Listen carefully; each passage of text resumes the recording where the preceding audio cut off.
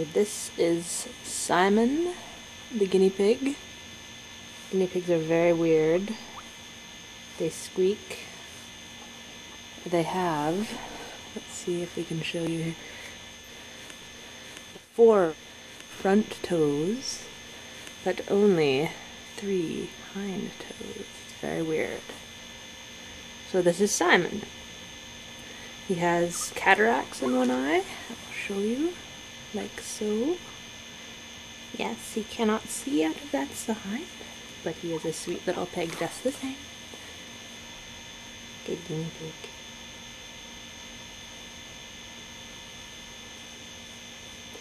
This massive hair is Garfunkel.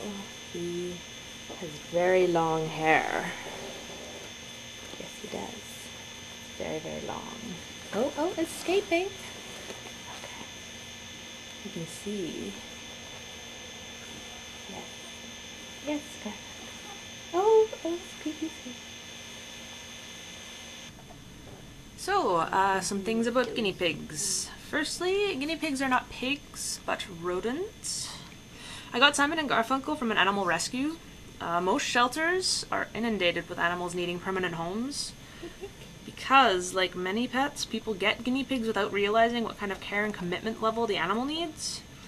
Uh, they're not for novice pet owners. I've had cats and dogs and fish and birds and gerbils and hamsters and everything pretty much.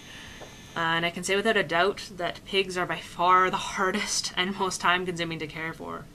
I'd much rather have a cat, but unfortunately that is not an option where I live right now. So I got two guinea pigs about half a year ago, plenty of time for us to get to know each other. And uh, I gotta say, they didn't seem cute to me when I got them. They were kinda ugly. Uh, but their cuteness grew on me as I got to know their personalities, you know. Uh, they're, they're pretty dumb. Yep, guinea pigs, pretty dumb. Uh, really. They have little to no comprehension on how they relate to their environment. They just don't have that spatial awareness. Uh, they also poo everywhere. Uh, get guinea pigs if you want to pick up poo all the time. If you like poo, get guinea pigs. Seriously, all the time. Uh, their cage needs cleaning once a week, at least. I used to do it more, but the bedding I have now is really awesome, uh, so I only have to do it once a week. I came to realize something recently. Uh, uh, lack of fear is not the same as affection. They're called pets for a reason. We like to pet them. You can pick up a cat, you can pet it, scratch it, you know, play with it, and it seems to desire this attention. Uh, not guinea pigs. You'd be lucky to pet it and not have it run away. Um, yeah. It's because they're prey animals and they're afraid of people because we're their predators to them. They basically sit in a corner of their cage all day. They come out to eat and drink, but then they go back to sit in their corner all day. I bring them out, like I said, for floor time and exercise, and I make little interesting things for them to explore and stuff, but they're pretty boring. Uh, I try new things to stimulate them, but all in all, they are probably the least entertaining pets I've had. Just because you really can't interact with them like you would other pets. For some people, I'm sure that's great. I mean, there are guinea pig people out there. I, I just, I guess I'm not one of them.